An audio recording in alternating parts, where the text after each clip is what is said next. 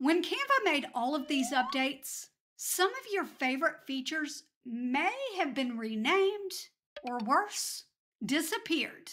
Today, we're going to answer the question where is shadow? We're going to go over two different ways that you can get your favorite feature back into your account. By the way, if you're watching this way in the future, they may have solved this issue. If you're still having trouble finding it, let me know in the comments below and I'll see if I can link you to an updated Canva tutorial. Let's look at a design. It's just an image of a person. And this is typically why someone wants a shadow effect is they are creating something for a thumbnail and they want an outline around a person.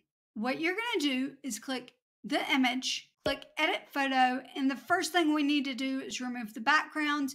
If you already have your background removed, that's fantastic. When I click back into it, down here at the bottom, this is where shadows should be, but it's not there. What can you do? And the first way is something that you can do within this new video editor. So we're going to click this and I'm going to click the duplicate button. And then I'm going to move over to the right and then I'm going to click the one in the back. I'm going to click edit photo again and then what I'm going to do is click duotone. Up here at the top, they've given us one called custom where we can click that and the highlights and shadows will be right there and we can change the highlights and the shadows to be whatever color we would like. So in this case, I'm going to use white and then I'm going to click out of it.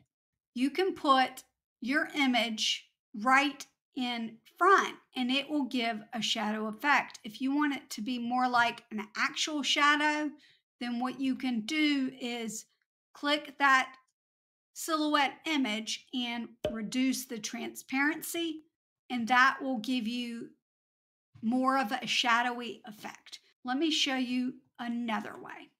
So we're going to click this, click edit photo, and down here at the bottom it says you're using the new photo editor. To use the old experience, click here. We're going to do that. And it gives you a pop-up saying you're using our brand new photo editor. We can revert you back to the old one, but edits you've made will be lost we're going to revert to the old one. And just like it said, the edit I made was lost. So I'm going to click edit image and look, here is the old editor. And if you type in shadow, here is the shadow effect. Huh, Guess what I forgot to do? I forgot to remove the background. So I'm going to remove the background real quick and then we'll add the shadow.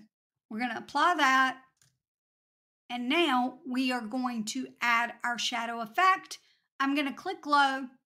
I'm going to click it again, and then I can change the size of the of the glow, the transparency of the glow, and the blur of the glow down to zero. And I'm just to, so you can see it, make it white.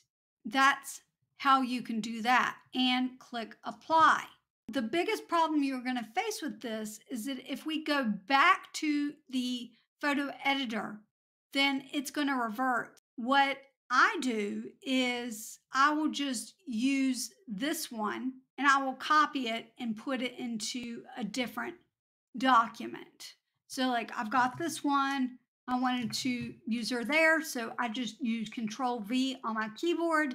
And now she would be in the thumbnail with the with the outline as I chose. It's not convenient, but according to what I've seen on replies on in Twitter and on Facebook and even an email I received, Shadows will be back. They're just still working on it. You're going to click into this video if you're wondering how to blur a photo now with the new photo editor. All right, I'll see you next time. Bye.